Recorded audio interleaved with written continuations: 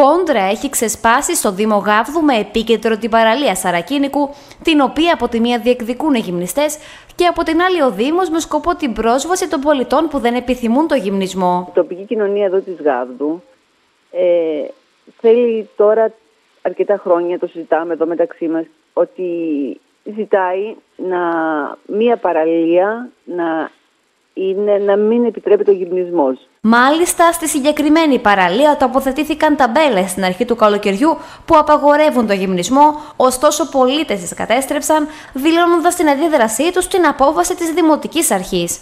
Αυτό που κάναμε είναι να ενημερώσουμε τον κόσμο και γι' αυτό το λόγο τοποθετήθηκαν πινακίδες, τις οποίες κάποιοι θεωρούσαν καλό, θεωρούσαν καλό να τις καταστρέφουν τρία άτομα που την ώρα που κατέστρεφαν τις πινακίδες τους αντιλήφθηκαν ε, κάποιοι του Δήμου. Η Δήμαρχος προμηνύει ότι θα προβεί σε όλες τις απαραίτητες ενέργειες προκειμένου να εφαρμοστεί η απόφαση του Δημοτικού Συμβουλίου που έχει πάρθει από το 2011. Να είναι μια παραλία που να μπορούν να έρθουν και άνθρωποι που δεν είναι εξοικειωμένοι με το γυμνισμό ε, και αυτή η παραλία είναι του Σαρακίνικου.